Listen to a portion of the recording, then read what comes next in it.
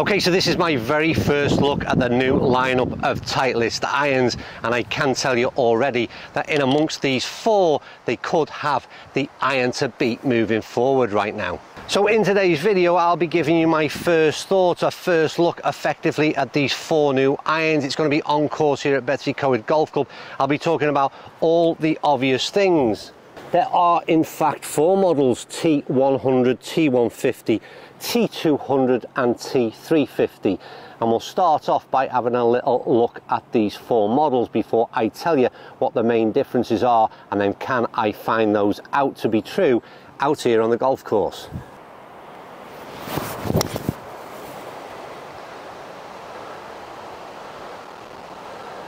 That's a great start to the day in terms of the Titleist lineup, but interestingly enough, that is not one of the main irons that we're going to be looking at today. That is in fact from the utility lineup, and that will be also tested on course here today, but that is featured in another video. Anyway, back to the main irons. So these four irons, Titleist have aptly characterised um, as the modern tour iron, the faster tour iron, the player's distance iron, and the ultimate game improvement iron.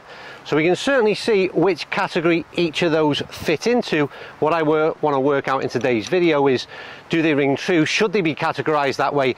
And more uh, importantly for me is how would we mix those sets up? Because I think there's a real opportunity to look at a blended set within this Titleist lineup. Do you know what? This place has got to be one of my favorite places to come and play a little bit of golf and test some golf clubs. We've got the water that literally surrounds this golf course at Betws-y-Coed. Those tree-lined uh, fairways and the backdrops are so, so nice. But we're here about the Titleist T lineup of irons. I just want to talk about the way they look because let's start at the bottom, T100 classic look very minimalistic in its markings. I would call it a kind of muscle back design. It's not your sort of classic blade where you're just seeing uh, not a lot of meat at all. I think there's enough on there to suggest that it might appeal to a few more players than you would think. Certainly for me at least. Then you got that t150 they're no different, in all honesty. I couldn't tell the difference between the two. There's a slightly bigger profile, and that's about it, really.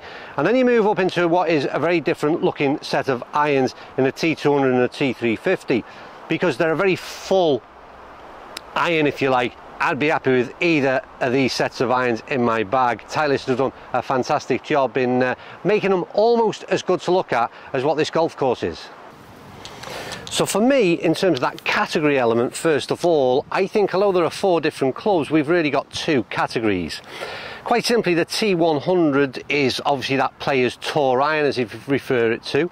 Then we've got a uh, just a simply a more forgiving version of the T100.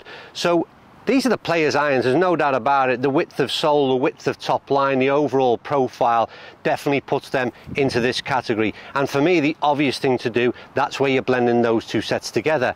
And then if I reach back to the other two, it's exactly the same thing. T200, and we'll talk about the way they look in a minute, and T350 are exactly the same thing they're a bigger and smaller version of each other. So obviously what you're going to expect to see is more forgiveness in that T350 than you're going to get in that T200. There's a lot of numbers to remember here, but effectively we go right down to the bottom, T100, proper players iron, T350, super forgiving iron, and in between all that, I think we end up with what is two groups of product, and that's where you'd probably look to do the majority of your blending in the set. Anyway, I've got 150 in, I'm going to start off with a T100.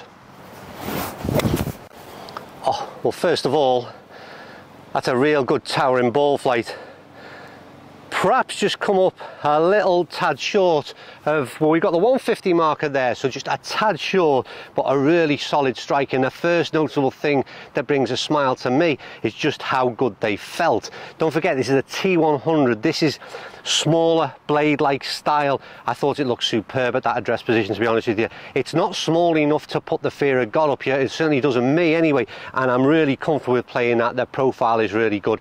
Very minimal offset. We've got a very straight ball flight and we've got a high towering ball flight. This is the weaker lofted obviously of all the four clubs that you'll see me test today which are all seven irons and I'll put some uh, comparable lofts of all the clubs all the four different sets on screen for you now. But that's a super start with a T100. So next up is the T150 and all there seems to be is just a little bit more muscle behind the club face itself and hopefully you can see that in the close-up images we've got. Um, but really not a huge amount of difference between the two and if you sat them side by side you'd struggle really for me to find the difference. But what I'm hoping is that little bit of muscle maybe that little bit of extra strength of loft I'm expecting a little bit further in terms of distance carried but I'm more interested to know what the feel is like by comparison. Well that's an interesting one well that's right at the flag probably similar but I don't know whether you noticed from the uh, shot it was a little bit bottom groove you can see or I can see at least that didn't quite get then didn't quite catch that one as nice. So I'll reserve judgment until we've hit a few more shots. But my immediate feedback with that was that the fact that well first of all it done well from the bottom grooves in terms of where it got to but this idea of mixing those two sets up will be just hard to tell the difference visually in terms of your bag. But I'm going to move on up into the bigger things now. The player's distance iron is the next one up. It's a T200 and we might as well stay in the same position and see if we can just sort of gauge yardage difference. But I need a better strike with this one. Okay.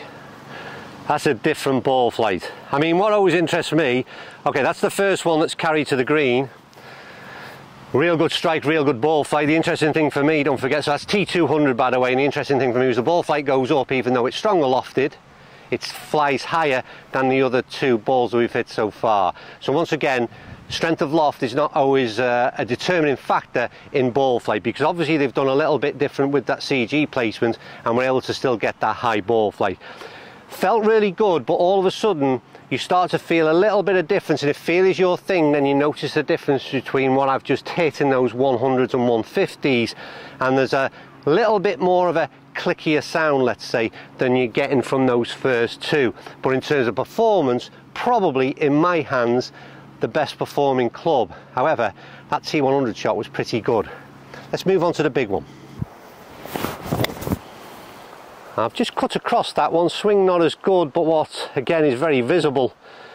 Yeah, that's not the best shot in terms of where it's ended up, but in terms of the feel out of the thing, I really like that, you know, and a bit of a surprise, and that's why you need to hit multiple shots, and that's what I'll carry on doing here this morning before I give you my overall verdict. But the feel out of that thing was really, really good. I got a softer feel than what I did out of the T200, and you would think in terms of the makeup, they're very much exactly the same. So clearly my shot with the T200 wasn't out the middle like it was out the T350. So first four shots, overall impression, super impressed with all four of these, but I'm uh, already starting to feel there's perhaps one in here that uh, really is a standout product for me. That's a golf shot that is. I love it in that backdrop. Oh, sit down ball. Okay, so that's back to that T100 and interesting enough, and the weirdest thing for me is that the two best shots of it this morning uh, and a few off camera and a bit of a warm-up is the T100 is absolutely flying for me in terms of I just love the ball flight. It's a ball flight that is, is high but is still penetrating at the same time. Ball seems to be sitting down as well and grabbing, so really impressive start with that T100. Great ball flight off these things. Oh, that's got a friendly bounce. I pulled that one just a little bit down the left, but I got a friendly bounce in and I've virtually finished in exactly the same position. Yet again, for whatever reason, I didn't hit the T150 quite as good, but the interesting thing is on both shots that you've seen on camera so far with this thing, haven't hit the ball perfectly out the middle, I know that for a fact, and yet the ball has gotten there. So we'll take that positive as well. Let's keep moving on. So I just had to have a quick glance down there, make sure I had the right club, and that's the interesting bit for me. We're up to the T200 now, and I'm still not seeing a massive change in profile, uh, which I take as a positive, to be honest with you, because like I keep going back to, and I'll speak in a bit more detail in a minute, is the idea of blending a set seems uh, a real obvious scenario here from Titleist. Oh, that's a golf shot. That's a golf shot. Let's see where this pitch is now. So again, we've got three balls on the green. That sat down nice, really good feel, really good um, ball flight.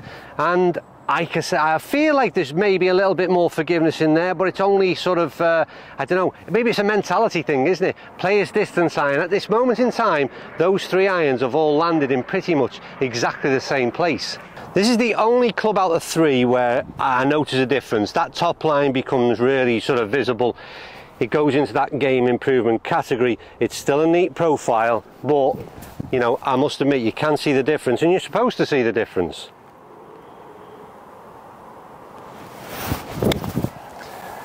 Got that heavy. This is the, this is where these things help. Worst shot out of the lot. Oh, it's just got front edge to be honest with you. It was a worst shot, worst swing. Did okay, got there, helped me out, did everything it's supposed to do do you know what? There's four decent irons here, you know. Now, in today's video, all I'm going to be looking at is on-course performance and on my, like I said, first look, if you like, but I'd really like to get these inside on TrackMan, look at some dry ball data and see what separates these four in terms of performance, irrelevant of what we quite see out here. Although I always think this is the key factor. These clubs are from our partner Hot Golf and uh, I'm just going to whiz over and have a look at the price of each of these now on screen because at this point I don't know exactly what they are. So you're seeing them before I do. So let me know your thoughts. Where are they pitched in in terms of uh, Titleist pricing. Are they competitive? Are they going to appeal to you? And let me know would you consider putting any of these four in the bag? Are you going to be testing any of these? And if you do so make sure you give a little bit of a look at our partner at Hot Golf. So a quick look in terms of on-course performance. Those three balls, like I said back there, they looked as though they weren't separated by anything and they're not. So three different lofts, but all finished in the same place. The ball by my feet, interesting enough, was the strongest lofted, but the worst hit, that T350. And it just goes to show forgiveness can only do so much. But the performance of them three can't separate it. Oh, do you know what? I can't believe this shot or the club I chose to finish on was the T100 because uh, I've not hit a bad shot with it to be honest with you. Slightly baffled as ever because not expecting that to be the best performance in my hands but it was just pure, everything about it is really good, great profile, great feel. That ticks the box of that player's iron. But it's not necessarily the one that I think is a standout product amongst the four because to be honest with you, I'd go down the other end and put that T350 in there because again, maybe it's not been the best performing in my hands if you look at it purely based on where the ball has finished but I would also I always liken the bit of the sort of what happens when you don't hit the ball quite so good my swings with the T350 weren't quite as good but the ball still did incredibly well and that's where I think that's what I think forgiveness is and that's where I think Titleist have got a real good iron set on their hands because that's the one that's going to appeal to the masses and the majority of average golfers and what they've done in my opinion this time around is they've improved the sound and the feel on a T200 and a T350 massively as well. So, take your pick. But from my opinion, any one of these four could go in your bag depending on what category you're in, what type of club you want to see in your bag. But Titleist have done a fantastic job with every model. Cannot stress enough just how good these things are and you must make sure you go out and give them a go if you're considering buying new irons right now. And don't forget our partner over at Hot Golf. Right, thanks for watching. I would think tomorrow night we've got the uh, utility irons to follow from Titleist as well and from the shots I've hit so far that's equally as impressive. Right, see you soon.